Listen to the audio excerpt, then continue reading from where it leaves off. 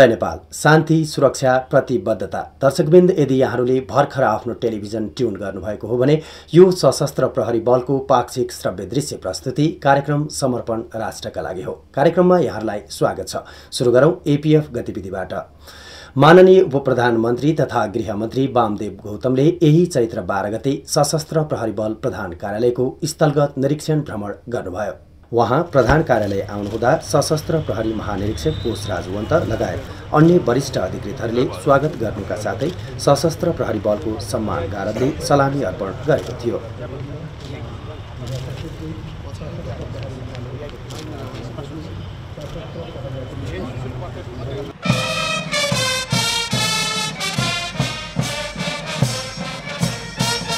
सलामी पश्चात उहाँले अमर सशस्त्र प्रहरीहरूप्रति रित चढाउँदै भावपूर्ण श्रद्धाञ्जली अर्पण गर्नुभएको थियो।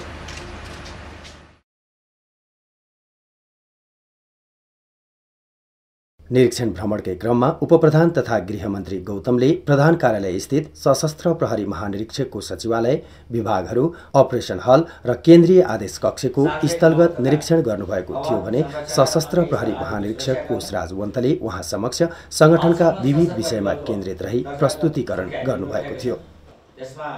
सशस्त्र प्रहरी महानिरीक्षकको प्रस्तुतिकरण पश्चात माननीय उपप्रधान तथा गृहमन्त्री वामदेव गौतमले सशस्त्र प्रहरी बलका उपत्यका स्थित राष्ट्र सेवकहरूलाई निर्देशन सम्बोधन गर्नुभएको थियो। पहिलोपटक पैँसठी सालमा म आउँदाखेरि भन्दा यसपटक यो बल धेरै समृद्ध भएको छ। यसका जिम्मेवारीहरू पनि विस्तारित भएका छन् तदनुरूप यसले धेरै राम्ररी आफ्नो जिम्मेवारी पुरा गरेको छ कर्तव्य पुरा गरेको छ र फोर्स एकताबद्ध भयो भने मात्रै सबै उद्देश्य पुरा हुन सक्छन्। आफू बलियो नभइकन अरूलाई पराजित गर्न सकिन्न। आफू बलियो हुनको निम्ति एकताबद्ध हुन जरुरी हुन्छ। यो चेन अफ कमानमा चल्ने भएको हुनाले कमान्ड र कमान्डिङ आदेश दिने र आदेशको पालना गर्ने कुरामा कमजोरी कहिले पनि हुनु हुँदैन र प्रत्येक व्यक्तिको आफ्नो स्वाभिमान हुन्छ त्यसलाई निहुर्याउने गरी उनीहरूको इज्जत प्रतिष्ठा गिराउने गरी कसैले पनि व्यवहार गर्न हुँदैन आज तल्लो दर्जाको व्यक्ति भोलि माथिल्लो दर्जाको व्यक्ति हुन्छ यो फोर्समा सामेल हुने हरेकको आइजिपी हुने महत्त्वाकाङ्क्षा हुन्छ। जसरी राजनीतिमा पनि आफ्नो उच्च स्तरमा पुग्ने महत्त्वाकाङ्क्षा हरेकले राखेका हुन्छन्। पहाड चढ्न खोज्ने सगरमाथा चढ्ने उद्देश्य राखेका हुन्छ त्यसो भएर तल्लो दर्जाको माथिल्लो दर्जामा जानुको निम्ति प्रयत्नशील हुन्छ। तर अनुचित काम अनुचित प्रभाव अनुचित किसिमले चाकरी गरेर जाने कोसिस मात्रै गर्न हुँदैन। तदनुरूप आफूलाई योग्य सक्षम राखेपछि अगाडि बढ्ने हो। एकपटकमा एउटा मात्रै माथिल्लो तहको जिम्मेवारी हुन्छ त्यस भएर त्यहाँ धेरैले आशा गरे पनि एउटाले पाउने हो। त्यस भएर यसमा पनि आफूले जिम्मेवारी बगाइदा पुरा गर्नुपर्छ र नपाउँदा कुनै किसिमको गुनासो राख्न हुँदैन। गुनासो राख्न पर्ने स्थिति आउँदा धेरै मतभिन्नता हुने स्थिति आउँदा फोर्स छोडिदिनु राम्रो हुन्छ। तर यहाँभित्र रहेर अनेक किसिमका रोगहरू सिर्जना गर्ने कामले हाम्रो एकता कमजोर हुन्छ र हामीले पुरा गर्ने जिम्मेवारी पुरा गर्न सक्दैनौँ। मैले केवल यिनी नैतिकताका कुराहरू मूल्य मान्यताका कुराहरूको सम्बन्धमा मात्रै यहाँहरूलाई भन्न खोजेको हो। यहाँहरू धेरै जानकार हुनुहुन्छ भन्ने मैले ठानेको छु। सोही समारोहमा गृह सचिव जनार्दन नेपालले आफ्नो मन्तव्य व्यक्त गर्नुहुँदै सशस्त्र प्रहरी बलले सबै क्षेत्रमा आफूलाई खरो रूपमा उतार्दै उच्च पेसागत दक्षता प्रदर्शन गरिरहेको बताउनुभयो।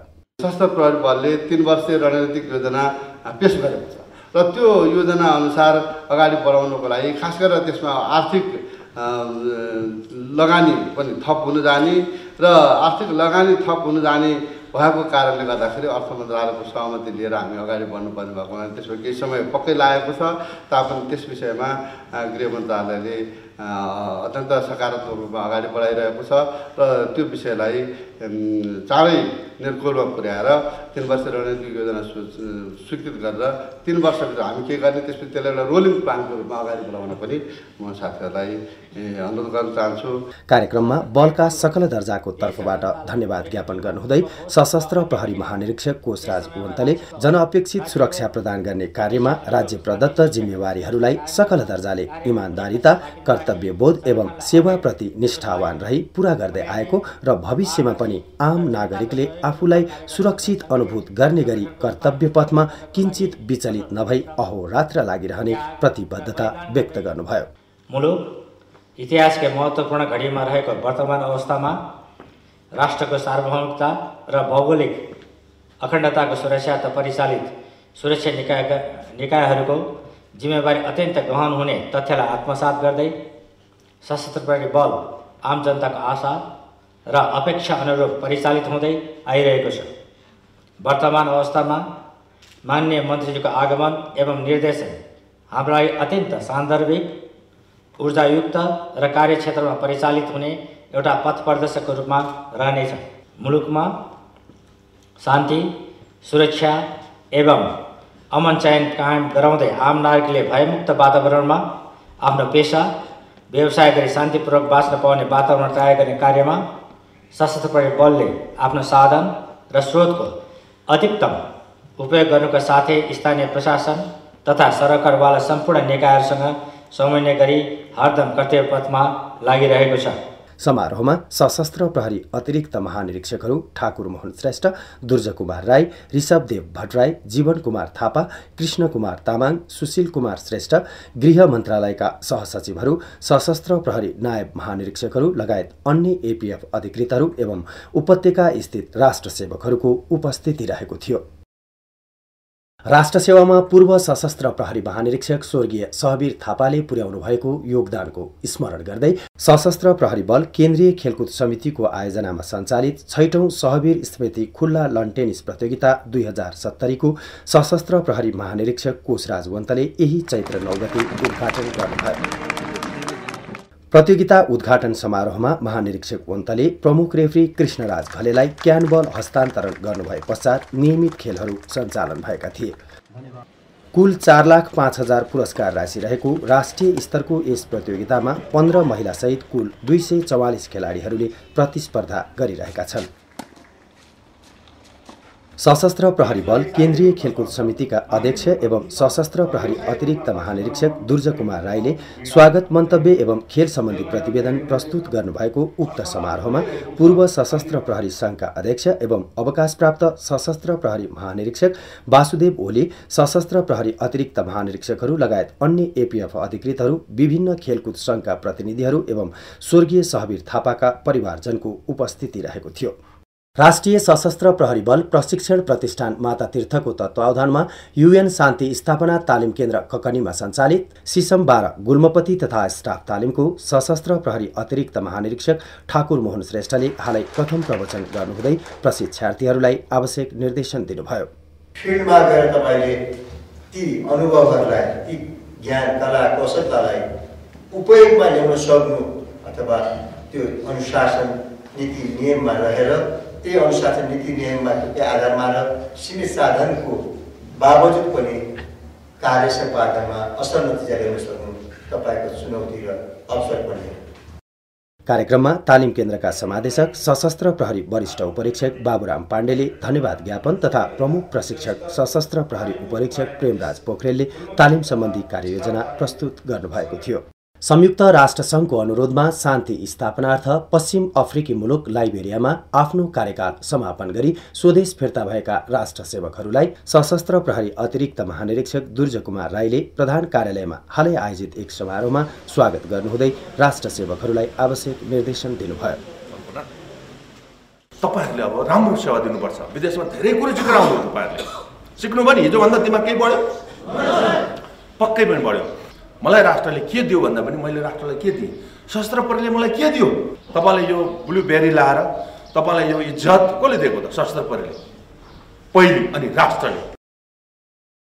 कार्यक्रममा सशस्त्र प्रहरी नायब महानिरीक्षकहरू लगायत अन्य एपिएफ अधिकृतहरूको उपस्थिति रहेको थियो। नेपाल एपिएफ अस्पतालमा सञ्चालित training of trainers on emergency first aid and dead body management after disasters तालिमको सशस्त्र प्रहरी नायब महानिरीक्षक दिवाकर केसीले हालै प्रथम प्रवचन गर्नुभयो। सशस्त्र प्रहरी बल गण दुवाकोटमा सञ्चालित सिसम सत्ताइस सेनामुखपति तालिमको भने सशस्त्र प्रहरी नायब महानिरीक्षक खडानन्द चौधरीले गढमै आयोजित एक समारोहमा प्रशिक्षार्थीहरूलाई आवश्यक निर्देशन दिनुहुँदै प्रथम प्रवचन गर्नुभएको थियो। कार्यक्रममा गणका गणपति सशस्त्र प्रहरी उपरीक्षक विदुर खड्काले धन्यवाद ज्ञापन गर्नुभएको थियो। यसै गरी प्रधान कार्यालय कम्प्युटर शाखामा सञ्चालित कम्प्युटर अपरेटर ग्रेड फोर तालिमको प्रथम प्रवचन तथा डग शाखा बलम्बुमा सञ्चालित डग ह्यान्डलिङ तालिमको अन्तिम प्रवचन सशस्त्र प्रहरी वरिष्ठ उपरीक्षक प्रजाभक्त श्रेष्ठको प्रमुख आतिथ्यमा सम्पन्न भएको कुरा सम्बन्धित शाखाहरूले जनाएका छन्। दर्शकवृन्द गतिविधिको क्रम आजलाई यति नै। अब प्रस्तुत छ टेली चलचित्र कसलाई आफ्नो भन्नु? कसलाई भनौँ? आफ्नो मान्छे आफ्नोले नै चोट दिन्छ। कसलाई भनौँ? आफ्नो मान्छे आफ्नोले नै चोट दिन्छ। जसलाई विश्वास गरे पनि पहिल्यै पछि घात हुन्छ। हो कसलाई भनौँ? आफ्नो मान्छे आफ्नोले नै चोट दिन्छ।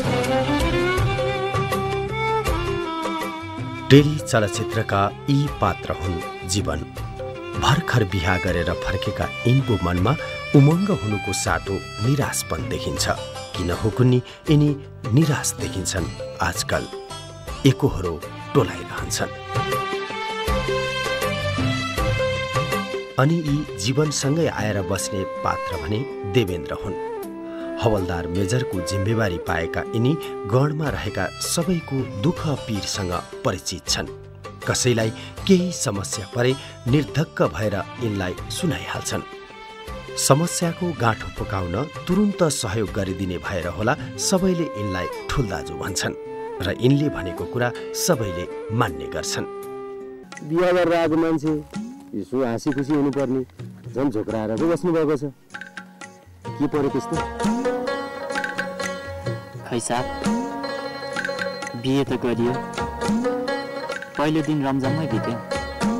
दोस्रो दिन जन्ती बाख्रा खानै परियो। अनि तेस्रो दिन पञ्चरात फर्काउन नपाउँदै घरमा रडाएको के पऱ्यो त साहब त्यस्तो? बिहा गरेको तेस्रो दिनमै घरमा झगडा पर्नु त्यति राम्रो सङ्केत त होइन है। दाइजो साहब दाइजो। मेरा ससुराली आर्थिक रूपमा अलि कमजोर छन्।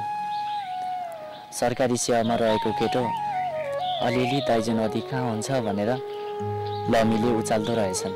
अनि तपाईँका ससुरालीले घर जग्गा बन्दकी राखेर पैसाको जो गरे। तपाईँ जानुभयो होला। त्यसपछि भन्नुभयो होला मलाई दाइजोको नाममा एउटा सिनको पनि चाहिँदैन। मलाई केटी मात्रै भए पुग्छ भनेर। उनीहरू पनि खुसी भए। तपाईँलाई छोरी दिएर पठाए। अर्काकी छोरीलाई तपाईँले घरमा भित्र्याउनु भयो। तपाईँका भाउजूहरूलाई त्यो कुरा चित्त बुझेन अनि आमालाई उचालिदियो होलान् अनि घरमा झगडाको बिउ सुरु भयो। कुरा त्यही होइन। हो साहब तपाईँले मेरो घरमा जे भएको ठ्याक्कै जस्ताको तस्तै भन्नुभयो त। कसरी? खै कसरी भनौँ? अनुभव क्या साहब? अनुभव। यो समस्या तपाईँको मात्र हो र नेपालको जुनसुकै ठाउँ यस्तै समस्याबाट ग्रसित छ। अरूको त के कुरा? कुनै समयमा मेरो परिवार पनि यो समस्याबाट उम्कन सकेन। एउटा तितो अनुभव छ मसँग। अब हेर्दै जानुहोस्। तपाईँका भाउजूहरूले निकट भविष्य नै अंशभन्दा गरौँ भन्छन् गरौँ भन्छन् होइन साहब। अंशबन्ध त भइसक्यो। भाउजू त भाउजू भइगए। एउटै आमाको कोखबाट जन्मेका ती दाजुहरू किन त्यस्ता? भात पकाउने कसौडीदेखि भाबिलोसम्म छोडेनन् साहब। कुम ल्याएरै लगे। राम्रो घरमा उनीहरू बसे। मेरो भागमा मतान परे। त्यही मतानमा भर्खर बिहे गरेर ल्याएको श्रीमती छाडेर आएको छु साहब। अनि यो रातो लुगामा सजिएकी यिनी हुन् जीवनकी नवविवाहिता दुलही यशोधरा।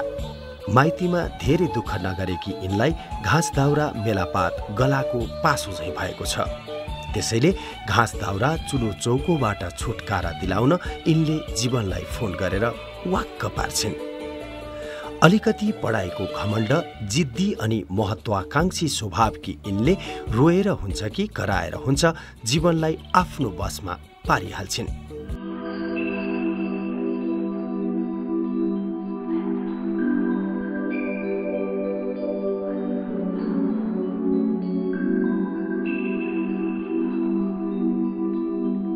बहिनी दाई दाई पो आउनुभएछ त। अचानक कसरी? नमस्ते दाई।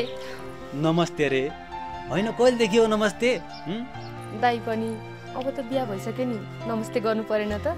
आउनुहोस् बसौँ ल थाकेर आउनु भएको होला चिया पकाएर ल्याऊ।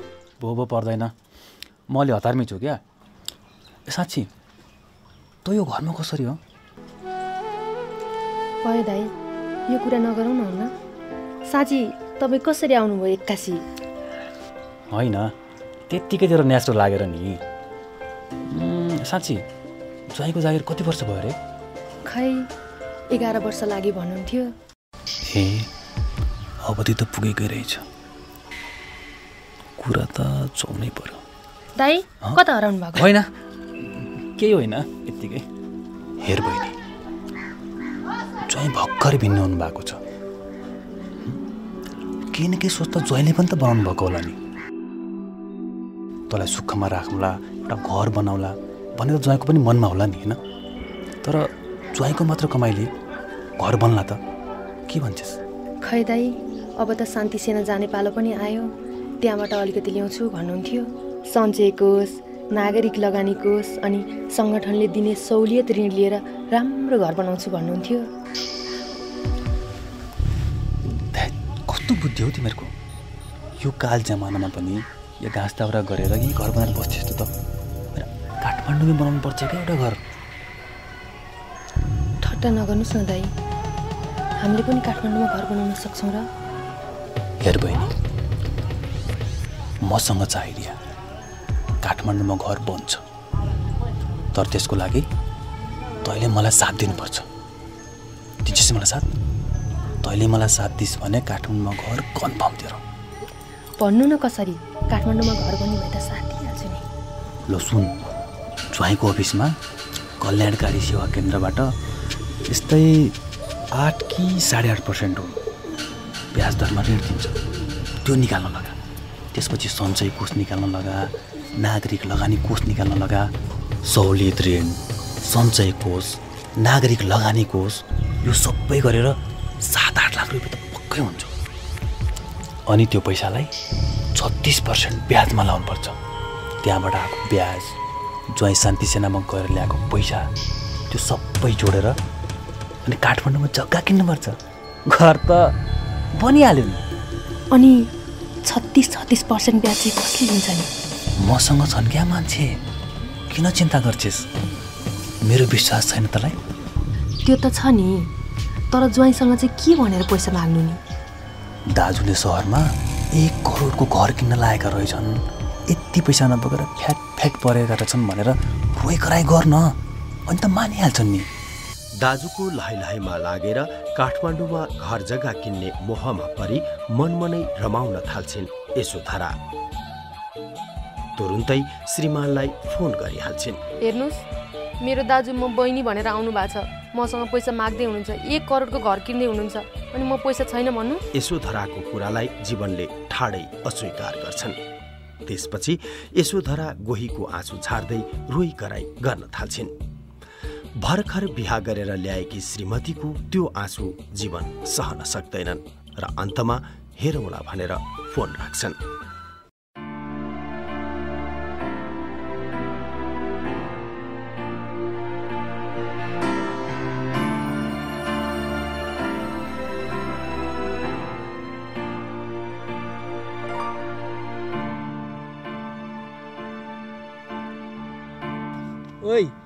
के भयो तँलाई आजकल एक होरो टोलाइरहन्छस् त घरि ल्यापटप हेरेछस् घरि मोबाइल हेरेछस् अझ हेलमेट लगाएको त मान्छे तँलाई देख्नै हुन्न। के भएको छ आजकल? लाइन ब्यारेकमा हेऱ्यो सबैले महँगा महँगा सामान चलाउँछन् दुई चार लाखको बाइक चढ्छन्। आफ्नो नि मन त थियो नि। किन चिन्ता गर्छस्? चाहिस् भने तैँले चाहिँ किन्न नसक्ने हो र। सञ्चय कोष निकाल बाइक किन। कल्याणबाट ल्यापटप र मोबाइल निकाल। आजकल सामान लिन केन्द्रमै धाउनु पर्दैन क्यारे। क्षेत्रमै सुविधा छँदैछ। लिए भइहाल्यो नि कस्तो सेवाको कुरा गरे भाइ हो।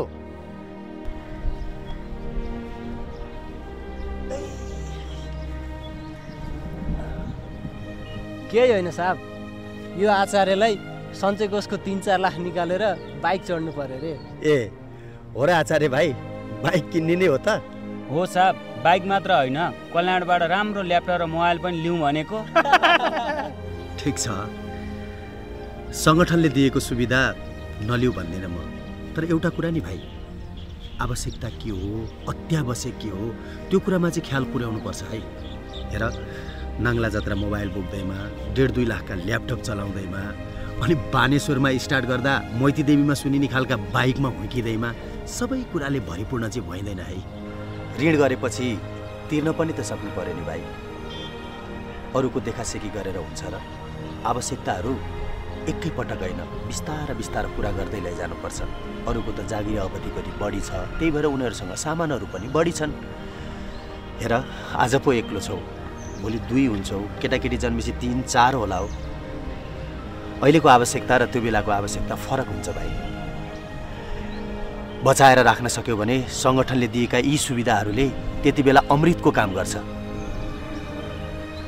घाँटी हेरेर हाड निलौँ भनेको मात्र हो। तैपनि तिम्रो सम्पत्ति हो भाइ। सङ्गठनले तिमी हामी सबैलाई दिएको सुविधा हो। इच्छै छ भनेदेखि निवेदन बढाऊ म अगाडि बढाइदेऊला मेरो अनुभवले बताएका कुराहरू सेयर मात्रै गरेको। लाग्छ है त? हवलदार मेजरको कुराले जीवनलाई छुन्छ। तर झुटो नै भए पनि श्रीमतीको त्यो आँसुले जीवनको मन बदल्न सक्दैन। परामर्श लिन कल्याणकारी सेवा केन्द्र पुग्छन्। सेवा केन्द्रका प्रमुखले तत्काल आवश्यक नभए ऋण नलिन सल्लाह दिन्छन् तर पनि श्रीमतीका लागि केही झुटो बोल्न बाध्य हुन्छन् जीवन। प्रक्रिया पुर्याएर उनले सङ्गठनले दिने सहुलियत ऋण पनि लिन्छन् अनि सञ्चय कोष पनि झिकेर श्रीमतीलाई पठाइदिन्छन्। काठमाडौँमा घर जग्गा किन्ने फुस्रो मोहमा परि छत्तिस प्रतिशत ब्याजमा लगाउन जीवनले पठाएको रकम आफ्नो दाजुलाई सुम्पिन्छन् यशोधरा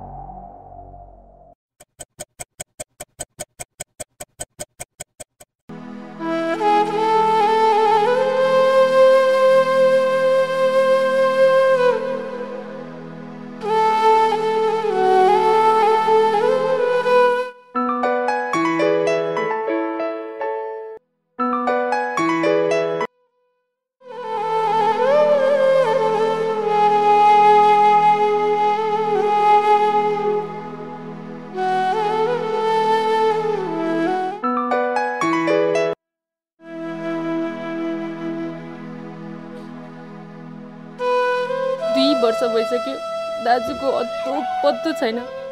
हरेक महिना ब्याज पठाउँछु भनेका दाजुले। के गरेका होला नि यस्तो? ब्याजको त परै जाओस्।